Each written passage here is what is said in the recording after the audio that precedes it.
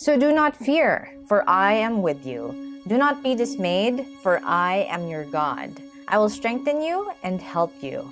I will uphold you with my righteous right hand. In this video, we'll be studying the timing of writing the book of Isaiah, its context, who the prophet Isaiah was, and we'll dig into this pretty well known verse, Isaiah 41, verse 10. So if you're up for that, then stay tuned.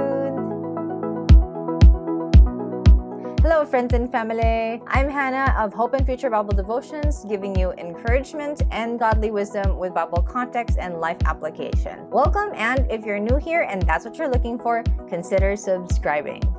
Before we start with everything, I'd like to give a shout out to Walter Strong III for requesting for this verse to be studied in context. Let's first talk about the context of the book. The author was Isaiah himself. The events in it were during the decline of Judah, which is the southern kingdom, and it happened in the shadow of the Assyrian threat. The period that Isaiah prophesied in Judah was 740 to 681 BC, and he did so during the reign of four different kings Uzziah, Jotham, Ahaz, and Hezekiah. In the Old Testament, God sent different prophets, and in this case, Isaiah, to give his warning to the leaders of Judah to repent and follow God. During Isaiah's ministry, the people in this region have already seen the destruction of their northern neighbor, Israel, but still they did not heed to the warning. And that was the irony of it all. The more Isaiah warned the people, the more their hearts were hardened. But Isaiah already knew that this would be the outcome because God told him. And the hardening of their hearts would ripen them for what was to come. God's message through Isaiah was to tell them of judgment because of their rebellion, which would come through their conquerors, Assyria and then Babylon. But also, God wanted Isaiah to tell the people about hope that God would fulfill his promises. There are many prophecies in this book, and one of them was in Isaiah 6:13.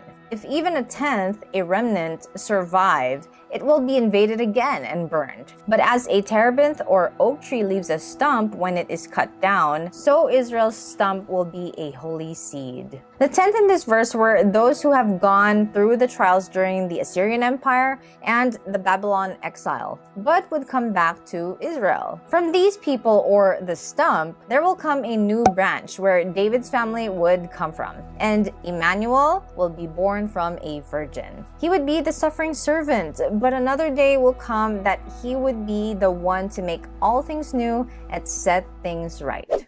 Fast forward to Isaiah 41 verse 2, it talks about the king from the east who is King Cyrus II of Persia. Through him and the Persian Empire, Babylon fell, and the remnant among the Israelites were able to go back to Israel just as Isaiah 6:13 said. In these incidents, God shows that he is in control over everything. What he says will come to pass, and he is the God of justice. God didn't reject the Israelites, but rather because of their rebellion, God disciplined them through the Assyrian Empire and the Babylon exile. But in the end, God also used the Persian Empire who conquered Babylon, and King Cyrus II was more lenient to the Israelites, and he allowed those who wanted to go back to Israel to go back. In Isaiah chapter 41, God was speaking to the Israelites and he addressed them as his chosen one. I know that the title of this video only says verse 10, but it would be better if we read the whole thought God was saying, which is Isaiah 41 8 to 10.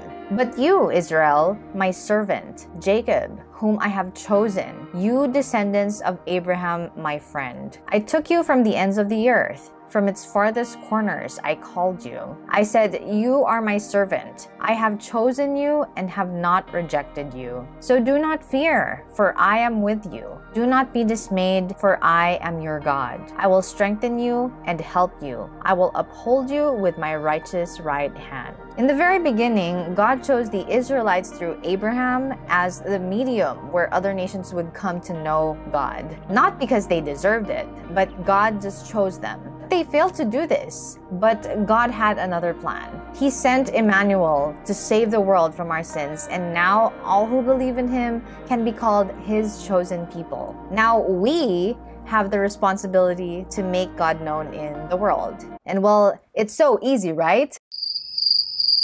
Not The stubbornness the nations and even the Israelites back then is either the same or worse among the world and even in believers now too. Skeptics ask for proof of God when all they have to do is look around them or open the Bible with an open heart. There are so called Christians who compromise, and there are times when it's hard to distinguish us from the world because we've become so desensitized. Talking about the Bible being timeless, right? But God calls the believers not to be of this world. We are called to be different. And to those who are faithful, God says, do not fear. For what? For being seen as different, being made fun of. Don't fear the hardships you are facing. Why?